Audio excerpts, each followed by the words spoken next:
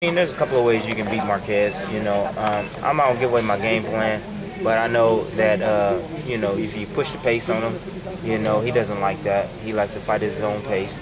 So if you push the pace on him, he, he hates that. Um, the speed, you know, you can make him pick up his feet. I can use my speed too, you know, and uh, make him pick up his feet and make him lunge forward.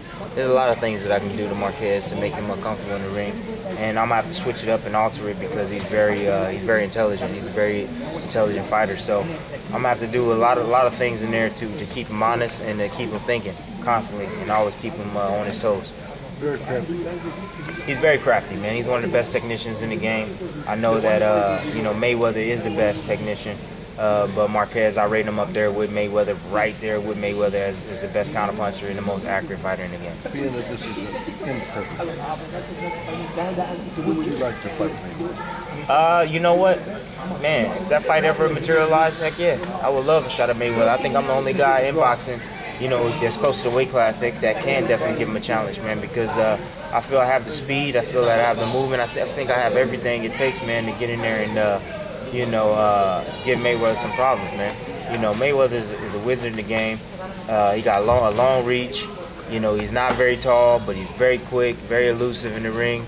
Uh, he knows every every in and out of the ring. So I mean, it's gonna be tough. It's gonna be tough. Whoever gets in the ring is gonna be tough to beat this guy.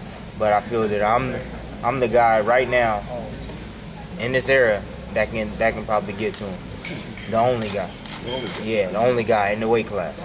Tim, I asked Joel before about your IQ. Your boxing IQ is very, very high. You know to take a knee where so many other fighters are in the features aren't even aware of that possibility. Right. How, how do you pick all that up? Man, it's just from watching film. You know, uh, I've been watching film for the last two days now. Been watching Marquez for the last two days. Um, you know, yesterday I went in the gym and I was just like, this dude's not gonna beat me. You know, uh, I put myself in, in, in, in, the ring with him, you know, when I'm watching him. I'm looking at his mistakes, I'm looking at everything where I can capitalize on, I'm looking at his strengths and everything. And uh, it's just from watching film, constantly watching film, man. And uh, that's, you know, you gather, you have to gather different, different things from different fighters and you try to add it to your arsenal. But, uh, you know, taking the knee is just, you know, it was either take a knee or be knocked out in my last fight. And I figured I'll let it go through the scorecards. I'll take that knee, man, because I'm telling you, he was bringing that pressure on, and he was uh, throwing some, some hard shots out there. And if I would have got clipped probably one more time because I was exhausted, he would have definitely uh, probably took me out. Did you spot flaws in Marquez when you watch him? oh yeah, oh yeah. I, I spot a lot of flaws in Marquez. I mean, every fighter has flaws. You know, uh, I definitely do spot flaws, and I definitely feel that I'll be able to uh, capitalize on his flaws and his mistakes because I'm faster. He's excellent counter. Yeah, he's an excellent counterpuncher. He is. Crouches.